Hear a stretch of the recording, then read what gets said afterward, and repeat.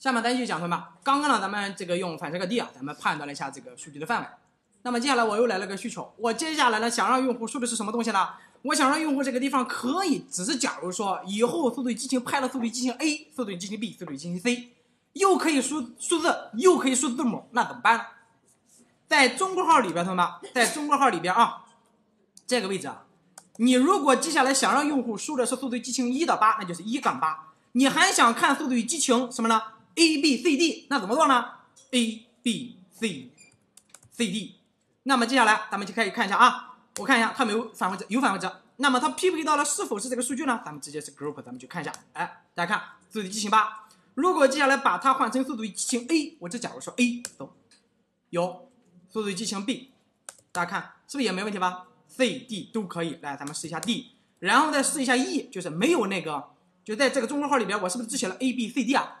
我没有写 E 啊，A B C D E，我试一下 A B C D E，走，大家看数据挂了吧？那么这就验证了什么呢？在中括号里边，同学们，你不仅可以输数字，还可以输数字和字母的组合。那么这个时候，同学们，这个可以等价于怎么写？啊，A 到 D 是吧？A 到 D。那么，如果我接下来想要判断的是所有的字母都可以，那是不是这个地方就变成了 A 做什么？A 当 Z，是不是就这个哥们儿数据出来了吧？那么我不仅我判断小写的字母，我还判断大写字母啊，大写的字母 E 也可以，怎么做呢？换成大写的 E 怎么做？啊？哎，大写的 A 杠大写的 Z，你听懂了吧？来，接下来回车，大家看，小写的 E 也可以，大写的 E 也可以，是不是这个判断了小写字母，这个判断了是大写字母？哎，这个啊，这个判断是大写字母。然后这个是判断的数字一到八，没问题吧？都可以直接放到中括号里边。切记，不管中括号里边你再怎么写，只取一个。你听懂了吧？哎，只取一个，你只要是这个范围的就行。啊，你是否是一到八呀？啊，不是。那看看你是不是小写字母啊？不是。你是大写字母？不是。如果都不是怎么的呢？啊，都不是，你赶紧滚吧！你都不是，你还在这干啥？请问是这个道理吧？是这个道理吗？打仗的时候，你是哪个国家的？你是魏国的吗？啊，不是。你是赵国的吗？不是。你是哪个国家？不是，不是你闪开是吧？就是这个道理。好了，那么中国号里边东西切记一个原则，只匹配一个，反斜杠 D 匹配一个。其实这就是我想说的匹配单个字符。那么除了我刚刚给大家讲解的，像匹配中国号、匹配反斜杠 D，还会有呢这些东西。那么咱们先说最后一个叫什么呢？反斜杠 W。反向个 W 的这个 W 翻译过来就是什么意思呢？word 就是词的意思。那么注意看，如果我把这坨啊，我把这坨啊，我把这坨，这个我先这样，我换个行啊，换个行啊，咱们一次隔开啊，一次隔开，换几个行，咱们隔开啊。如果我接下来呢，在这个位置呢，想要干一件事情，把这个中括号里边东西全抹掉，全抹掉，反这个 W。好了，大写字母可以，来，小写字母可以，来，数字来个四，没问题吧？啊，都可以。那么这个反斜杠 W 它的范围呢就更宽广了。反斜杠 D 是匹配任一个数字，中括号里边写什么判断什么。反斜杠 W 的范围很宽广，它可以等价于什么呢？这个小写字母，这个大写字母，这个数字，请问这是啥意思啊？下划线，对，咱们试一下啊。如果我这个地方呢换成下划线，大家看，是不是依然匹配出来了吧？那么它不等，它不包括什么呢？比方说，我来个等号，它没有吧？你看，我来个，我来个什么呢？我来个叹号，是不是它也没有吧？所以说，反斜杠 W 理论上讲，它就匹配了小写字母、大写字母、数字、下划线。其实你没发现，就是咱们原来所说的要求定义变量的时候那个规范，英文字母、数字、下划线，请问是不是它呀？所以说呢，在这个地方呢都包括，但是呢，稍微有点尴尬的是什么？这个反斜杠 W 啊，它支持一些其他的语言，比如说中文。你懂我意思了吗？这个反斜杠 W 啊，它现在呢，因为它现在都是一般都是 Unicode 码，Unicode 码是全球都包括了。所以说呢，你这个反斜杠 W 呢，它不仅可以写中文，可以写日文，可以写俄罗斯那种语言，甚至是什么泰国的都可以讲。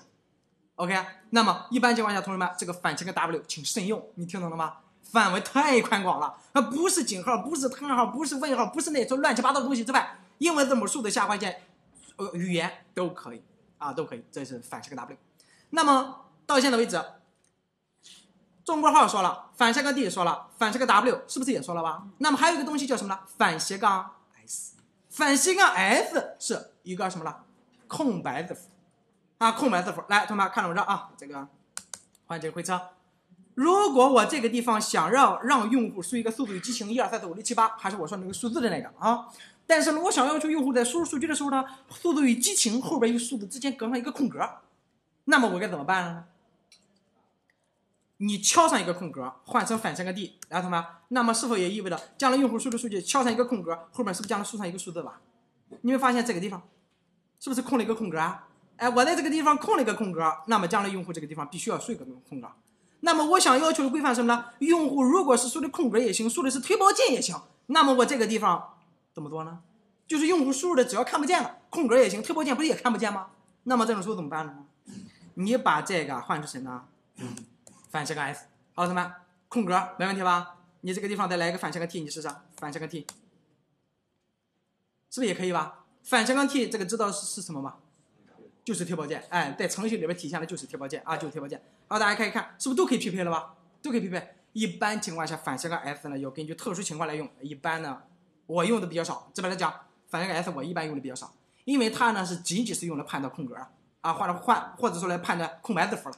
那反斜杠 n 呀，反斜杠 t 呀，这些东西都是空白字符，看不见就是空白字符。好了，小写字母 d 反斜杠 d 这个常用，判断数字。反斜杠 w 判断的范围更宽广，英文字母数字下划线，当然还包括中文。那么反向个 s，它是判断空白字符，就是看不见的空格呀、table 呀、反向个 n 呀，都是空白字符。好，同学们，这个时候咱就说它的大写字母了。所有的大写字母，正好是小写字母相反的那个。来，咱们先说反向个 d 是什么？数字零到九嘛。反向个大 D 啊，不是数字。好了，反向个 s 不是空空白字符吗？反向个大 S 啊，不是空白字符。那么反向个 w 不是下划线零到九，是不是数字母吗？哎，它不是，听懂我意思吗？那它并不是这个东西。记，反向个 w 大写的 W 能匹配什么？同学们？就是小 w 必不成功的，是不是大 W 是不是都可以成功啊？哎，其实正好他们俩相反啊，正好他们俩相反。这个地方你要切记了啊，正好他们俩相反。好了，那么在这个地方说完了这一坨之后，咱们再说最后的一个点，这个点的范围最宽广。没有比它更宽的了，它能宽到什么程度呢？简直就是宰相肚里边能那个啥啊！好，同学们看到我这，咱们回到最原始的速度与激情的这部分。我如果在这个地方换成点儿，那么将来这个地方可以输什么呢？来，咱们先来说数字一，没问题。来，咱来个字母 A 小写的，没问题。来，咱来个大写的，呃，咱来个大写的啊，大 A，好了，也没问题。来，咱们来上一个下划线。也没问题，请问点儿现在是不是已经完全等价于反向个 W 功能了吧？它还可以干什么呢？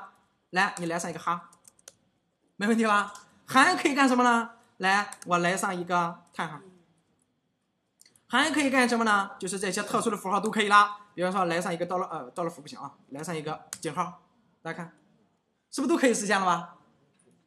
记点儿范围相当宽广，你怎么理解呢？把它理解为咱们原来在 Linux 里边的那个星，你听懂了吧？就是 ls 星点 py，是不是所有的点 py 结尾啊？那个星是任何一个东西都行，而且那个星还有一个还有一个作用，什么作用？同学们，任意多个，是不是也可以吧？ls 星点 py，你不管是什么点 py，有多少个字母都可以，但是这个点儿仅仅是星里边的一部分，星是任意一个字符，任意多个都行。那么这个点儿意味着什么呢？只有一个。但是这一个是什么都行，你听懂我意思了吗？这就是点的意思，啊，这就是点的意思。好了，那么咱们到现在为止呢，咱们这个匹配单个字符，同学们就说到这儿了，基本就讲解完了。接下来打开你的终端啊，五分钟的时间，咱们大家练一下啊，练一下。